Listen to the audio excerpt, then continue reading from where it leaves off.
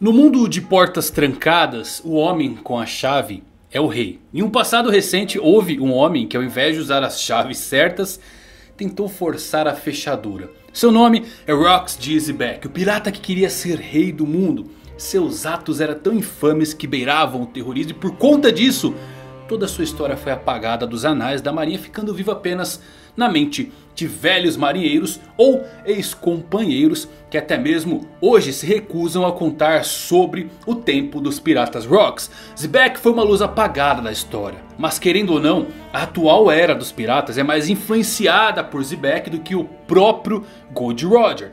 Quando o rei dos piratas proclamou sobre seus tesouros e riquezas, ele levou uma nova era a partir para o mar, mas essa nova era não sabia que ainda iria se deparar com os piratas envolvidos diretamente com o rei do mundo. Os cinco imperadores são os últimos resquícios da luz de uma era escura. Como Rox de Zebek influenciou cada um dos imperadores. Quer saber esses segredos? Então se liga eu vou falar nisso agora.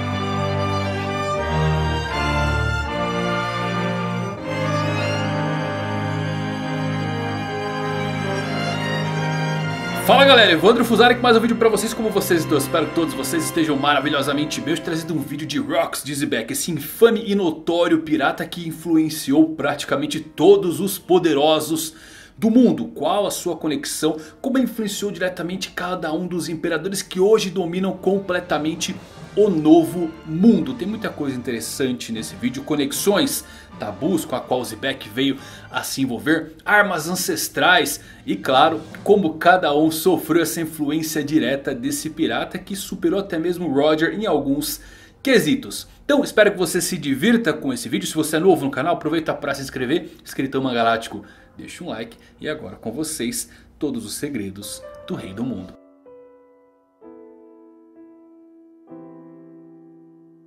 Então vamos lá, Rox Dizzyback era considerado tão formidável que foi preciso Gold Roger e Monkey D. Garp se unirem e lutarem juntos para conseguir derrotá-lo. O homem era um monstro, mas em minha humilde opinião o que o tornava ainda mais perigoso era o conhecimento que ele possuía e com conhecimento um desejo nasceu por conta dele. Zebek queria ser o rei do mundo. E curiosamente, durante os eventos atuais da série na reunião dos 20 reinos, chamado Reverie, o irmão de Sabo, Stelle, acreditava que sentar-se no trono vazio do castelo Pangea o tornaria o rei do mundo. Não sabemos se Zebek estava ciente da existência desse trono ou foi uma mera coincidência. Eu prefiro acreditar que ele sabia muito mais do que qualquer um imagina. Uma das poucas informações que temos dele foi que ele mexeu com os tabus do mundo. E aqui deixo em aberto uma grande possibilidade. Zebek pode ter alguma influência em Monkey D. Dragon.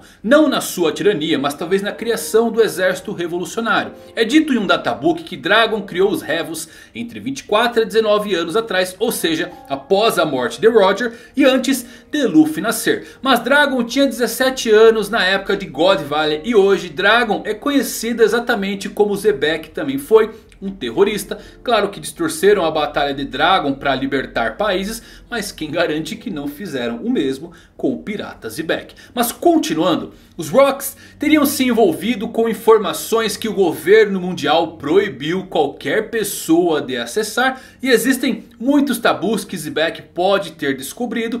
Fale o detalhe que antes de entrarmos nesses tabus, eu duvido muito que Rocks e soubesse o que era o tesouro One Piece ou a vontade dos D. Ele podia ter uma noção da última ilha e da importância dos Ds e do século perdido. Mas não a verdade completa, pois é dito que Roger foi o primeiro a chegar em Left Tail nos últimos 800 anos. Então Zebek não sabia de tudo e com isso em mente com o que exatamente Rox de Zebek se envolveu? A primeira e mais óbvia resposta é os poneglyphs. Zebek provavelmente tinha algum meio de ler os poneglyphs, seja pela voz de todas as coisas, por saber interpretar os símbolos perdidos, por ser alguém que tem a tribo dos três olhos na sua tripulação, de alguma forma isso lhe permitiu aprender partes e fragmentos da história antiga. Se Zebek sabia algo do trono vazio, Provavelmente foi desta forma que ele soube da existência do Rei do Mundo. À espreita, ele pode ter procurado derrubar os dragões celestiais e por extensão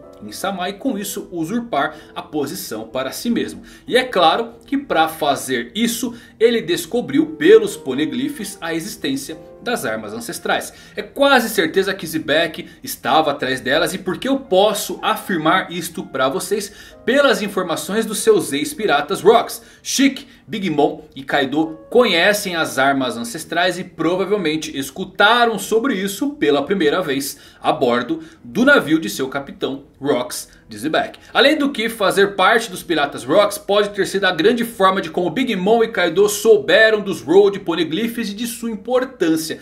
Curiosamente, há 39 anos atrás Gold Roger e sua tripulação foram as primeiras pessoas conhecidas a chegarem à ilha de Roadstar. A última ilha que o Log Pose aponta. E ao alcançá-la, eles perceberam que havia mais uma ilha à sua frente. Mas o Log Pose não conseguia registrá-la. Roger então começou uma jornada para descobrir a rota final para Left Tail. E um ano depois de Roger chegar em Roadstar, tivemos os eventos que levaram à suposta morte de Zebek. Então pode ou não ser coincidência, pois Roger foi o maior rival do infame pirata Rocks. Zebek deve ter chegado à mesma ilha após Roger e sua busca para superar Roger pode ter levado aos eventos de 38 anos atrás na ilha de God Valley, onde Garp e Roger se uniram para conter a revolta dos piratas Rocks, onde os mesmos tinham vindo para a ilha para supostamente matar os dragões celestiais reunidos lá naquele dia. Sengoku nos diz que God Valley era uma ilha cuja existência o governo mundial desejava manter em segredo e que desapareceu.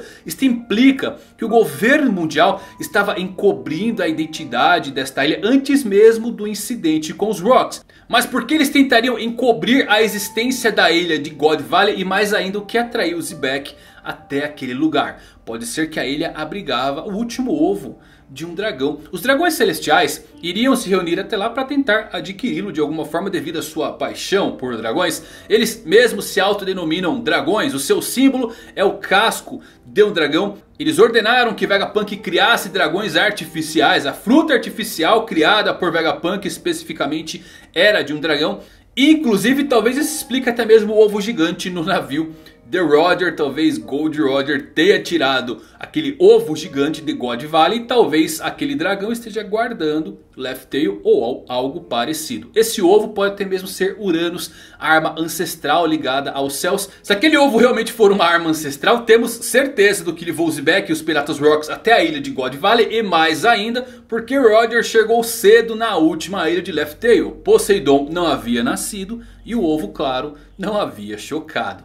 Zebek caiu e uma nova era não existiu por ele não reacender a chama. Sua luz foi apagada, mas após a sua suposta morte, os remanescentes dos piratas Rocks tinham conhecimento e decidiram por conta própria dominar todos os mares à sua maneira. Nascia a corrida para chegar à última ilha e Roger fez isso primeiro. Com a morte de Roger, a vaga do rei dos piratas ficou em aberto e isto deu origem ao que conhecemos hoje como os Yonkous, os imperadores do mar que lutam pelo título de maior pirata dos mares. Independente da grande era da pirataria iniciada por Roger, todos os mais poderosos atualmente têm grande influência direta de Rocks de Zebek. Começamos falando um pouquinho de Barba Branca, que não parece ser o tipo de pessoa que se associa ou se alia a alguém tão selvagem e cruel como Zebek. Mas ele o fez. Acho que era porque ele estava usando todo o tesouro que ele estava obtendo para financiar todo o sustento do povo da ilha Esfinge.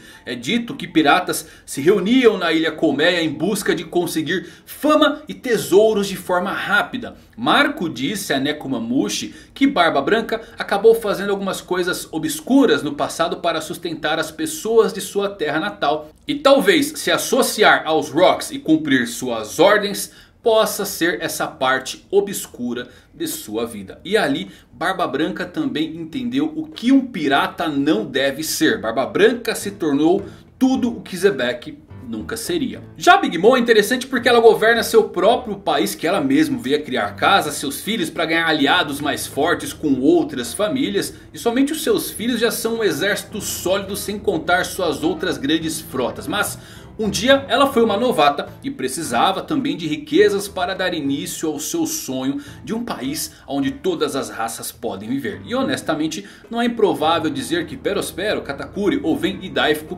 podem ter nascido no navio de Zebek. Pois é dito que o local de nascimento deles foram em um navio ou em portos marítimos onde possivelmente esse navio estava atracado. Big Mom descobriu sobre a última ilha e os Road Polyglyphs enquanto estava ao lado de Zebek. Tanto que Roger, para fazer a sua última jornada, roubou uma cópia do Road Polyglyph que já estava de posse dela. Já Kaido, ele tem todo o seu reino em Wano na palma das mãos. Um grande exército que consiste principalmente de usuários de frutas artificiais. E os piratas Rocks foram os que essencialmente ensinaram a Kaido todos os caminhos de ser um pirata. Sua tripulação segue a lei do mais forte, aquele que vence e sobe de cargo. Já que ele era apenas um aprendiz no navio dos Rocks, Kaido não parece se importar em brigar com sua própria tripulação desde que consiga o que ele quer. Isto pode ser uma sombra, um resquício de uma característica que ele adquiriu durante o seu tempo nos Piratas Rocks. Pois sabemos que os Piratas Rocks eram famosos e notórios pelas brigas internas. A velha Higurashi, que fez a ponte para trazer Kaido ao ano, pode ter sido parte da tripulação dos Rocks também. Já que ela se transforma em Shiki o Leão Dourado quando conversa com Orochi. E para esse poder funcionar é preciso tocar em quem você quer se transformar. Kaido quer trazer um mundo de terror com guerra, chamas e cinzas. E parece ainda viver em sua mente os dias de terror que Zebek e seus piratas levaram ao mundo. Com Barba Negra as coisas se tornam obscuras. Provavelmente ele é a maior má influência de todas. Tite é o oposto de Luffy. Ele apenas atrai todas as pessoas más para ele. Desde que ele era um Shichibukai, ele acabou recrutando os criminosos mais notórios e infames lá de Impel. E desde então a sua frota continua a crescer. Especialmente após a derrota dos piratas do Barba Branca. Seu exército inteiro provavelmente consiste nas piores escórias dentre os piratas. E é aqui que as coisas ficam interessantes. Barba Negra tem muitas semelhanças inegáveis com Zebek. Seu caráter geral, o navio do Barba Negra sendo chamado de Sabre de Zebek e a sua base sendo na ilha da Colmeia. Dizem que Barba Negra tem um grande interesse em pesquisas históricas. Talvez durante uma de suas pesquisas ele pode ter se deparado com a história de um monstro que um dia foi chamado de Zebek e ficou imediatamente cativado e fascinado. Como Luffy é o portador da vontade de Roger, Barba Negra é o portador da vontade do maior inimigo de Roger, de Zebek, que talvez fosse aí quem sabe o antigo usuário da Yami Yami no Mi. E Teach ao descobrir isso partiu no navio do Barba Branca para procurar esta fruta. É dito que desde criança ele tinha um plano em mente e ele já estava em andamento mesmo quando Barba Branca o acolheu como um filho em seu navio. Barba Negra pode até ser filho de Zebek, mas eu prefiro realmente que ele tenha herdado a vontade desse pirata. E assim como Zebek um dia tentou, Barba Negra quer ser o rei do mundo. Já com o Ruivo temos algo bem peculiar. O que é interessante sobre Shanks é que o conhecemos desde o primeiro dia da série de One Piece e ainda mal sabemos algo sobre ele. O Ruivo pode ser muito bem o mais influente dos Yonkos. A maior implicação é seu encontro com o Gorosei durante a Reverie. Porém em termos de sua influência na pirataria. Não sabemos muito além de alguns territórios que ele possui. Especificamente aqueles que o Bartolomeu queimou a sua bandeira, suas ligações criativas com Elbaf e claro, o grande fato atual de Kaido dizer que o Ruivo é um dos poucos que podem lutar de igual com ele e na minha sincera e humilde opinião acaba estabelecendo Shanks como o Yonko mais forte de todos simplesmente pela progressão narrativa de o próximo pirata ser mais forte que o anterior. Bom, eu como muitos outros tenho a grande sensação de que Shanks pode vir a ser filho sim de Rocks, de Zebek. Shanks tem 39 anos, então quem sabe durante aquele incidente de God Valley que ele teria ali um ano de idade.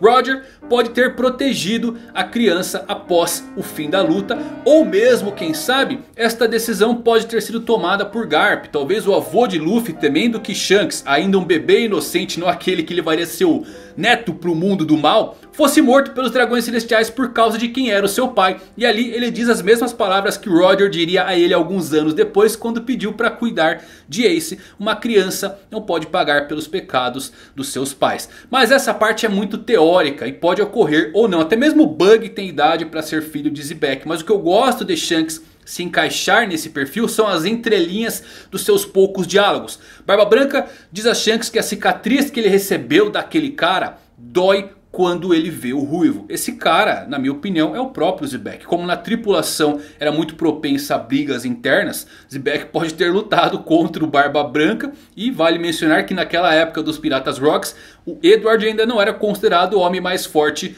do mundo. Essa alcunha veio após o fim dos Rocks. Mas ao mesmo tempo existe um grande argumento que talvez possa deixar para vocês de que Shanks talvez não seja filho de Zebek. Porque se ele realmente fosse, então ele seria um portador da vontade dos D. Se Shanks carrega a inicial D, porque Roger não confiou o futuro a Shanks. Ou seja, colocá-lo no caminho para ser o próximo rei dos piratas. Em vez disso, Roger queria ter um filho para ser o próximo rei dos piratas. Shanks pode ou não ser filho de Zebek. Ele é um coringa. E o certo pirata ele foi conversar com o Gorosei, aí sim, pode ser qualquer um, mas a maior possibilidade é que realmente seja o próprio Zebek que deve acabar tendo seu retorno para a trama central. Talvez o Ruivo esteja a vida inteira esperando por isso, e sabe de alguma forma que Barba Negra é aquele que irá trazer Zebek de volta. Trazer a escuridão para o mundo. O rei do mundo espreita pelas sombras e a maior guerra que os mares irão ver no fim de One Piece foi prenunciada desde a sua suposta morte.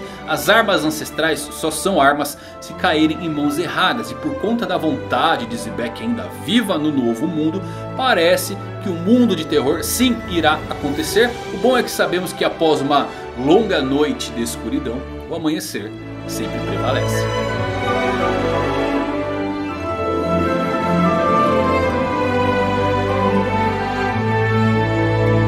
E é isso galera, essa é a grande influência que Rox Dizzyback deixou no mundo. Mesmo sendo praticamente apagado da história, o novo mundo praticamente é por conta desse infame notório pirata que as coisas acontecem. Se não fosse por ele, talvez Kaido e Big Mom nunca descobririam sobre os Road Polyglyphs e mesmo as armas ancestrais. Afinal, eles não sabem ler os Polyglyphs e não teriam como descobrir estas informações. Possivelmente escutaram lá a bordo do navio dos Rocks. O mesmo Chique, o Leão Dourado, quando atacou o Roger, ele sabia sobre as armas ancestrais. Aonde ele poderia ter descoberto isso? Possivelmente no mesmo lugar que os seus companheiros. Vale o destaque aí para aquele ovo que está no navio do Roger. Acontece uma tempestade ali na luta contra o Chique. Então pode ser que o ataque a God Valley tenha alguma coisa a ver com aquela Big, aquela omelete e o Roger leva no seu navio. Espero que vocês tenham gostado desse vídeo, se divertido. Se você gostou...